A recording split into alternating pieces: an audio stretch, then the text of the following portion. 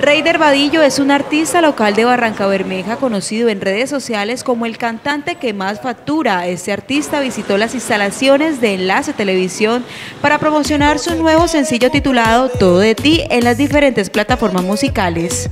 Bien contento porque eh, eh, eh, la canción, wow, me han enviado videos de, hace poco me enviaron un video de Viña del Mar, de Chile, la canción está sonando en Chile, ¿qué te digo? Suena en México, me han enviado videos desde México también.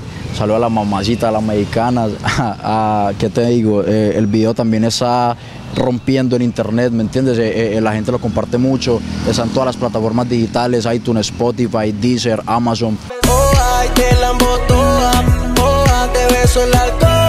Este sencillo cuenta con más de 2 millones de reproducciones en YouTube y cabe resaltar que el video oficial fue rodado en locaciones de Barranca Bermeja, lo que resalta más aún el talento de los barranqueños por medio del género urbano. Porque hace un mes eh, me llama mi manager y me dice, wow, mira la publicación que acaba de hacer eh, eh, los premios Luna en Instagram y yo voy chequeo el Instagram y resulta que estamos nominados en la categoría como Nueva Figura 2019. Si te gusta la buena música, si te gusta el buen reggaetón que no denigra a las mujeres, si te encanta eh, eh, eh, la discoteca, si te encanta la rumba, tienes que ir corriendo a escuchar en tu plataforma digital favorita todo de ti, mi nuevo sencillo.